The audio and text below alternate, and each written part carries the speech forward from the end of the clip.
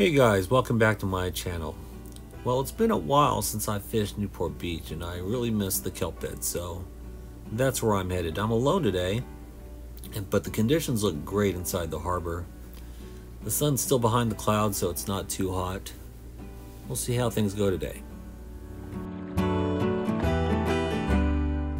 So the water is relatively flat. Water temperature was right at 70 degrees at a depth of almost 40 feet.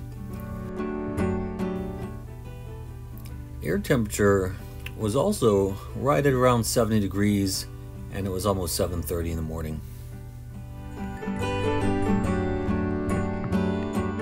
Here I've arrived. I'm right on top of the kelp forest, but it's high tide and it's at the highest point of high tide. Water depth now was between 50 and 60 feet, so all of the kelp was submerged below the surface. Here I've hooked into a fish that swam right into the kelp and I had the hardest time getting him free. I tried opening and closing the bail, moving the kayak around. In the end, I lost this fish. So, what made this situation really, really bad is that you should never drift when you're fishing a kelp forest. You'll end up getting snagged over and over again, and that's what was happening here.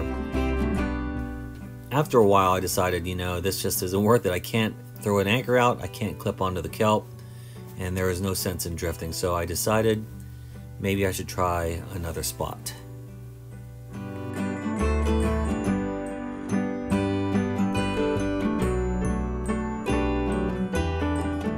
Here I've worked my way back into the harbor and now I'm fishing right in front of the bait barge and the first fish I land this morning is a spotted bay bass.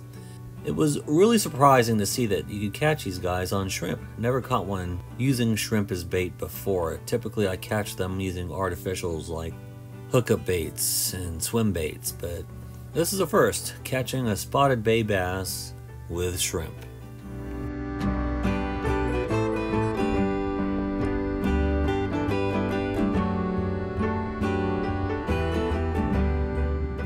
There were so many fish surrounding the bait barge. I was getting hit on nearly every cast. And here I've landed a short calico bass, so I'm gonna release this guy. He is clearly undersized.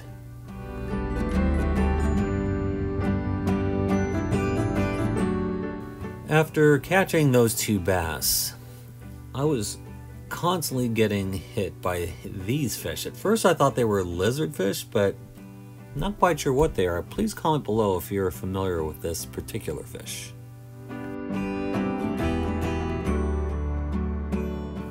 I must have caught a half dozen of these fish. Here is a better angle at one, and maybe you could identify it.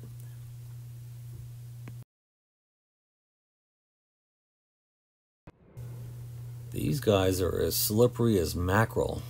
Oh well, time for the gentle release. Thanks for watching guys, and if you haven't done so yet, please subscribe and like this video.